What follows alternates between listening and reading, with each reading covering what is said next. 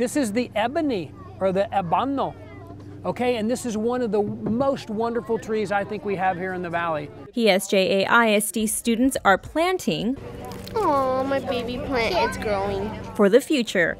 Thanks to a $45,000 grant from the National Fish and Wildlife Foundation, the district, Santa Ana National Wildlife, and the cities of Pharr, San Juan, and Alamo are kicking off the Nature Conservation for Future Generations project. We are basically creating a small piece of habitat that can be is, has similarities to what our children would find out at Santa Ana National Wildlife Refuge so we can educate our kids and parents and teachers about the benefits and values of habitat and the life support system that they provide towards or to our wildlife. Williams joined district and city leaders to kick off the project at McKeever Elementary School in Alamo. A ceremony was held explaining how the project, one of 14 urban partnerships in the United States, is bringing nature back to the valley.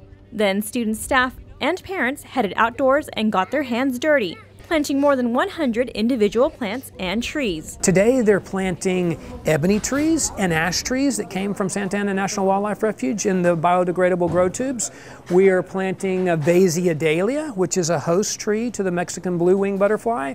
They're planting negrito, they're planting salvia. Overall, they'll have more than 30 different species growing in their school's backyard. Students and teachers will use the Nature Project as a hands-on learning environment. It is a real-life stewardship opportunity that they are actually planting a plant and they will be able to come back and watch it through the years and see that it is growing and know that they have really done something that is valuable. They'll be able to literally watch the wildlife, the butterflies, the birds that come in and utilize the, uh, the plants. And I think they'll have a, a, a, very much a sense of pride and a sense of, uh, of well-being.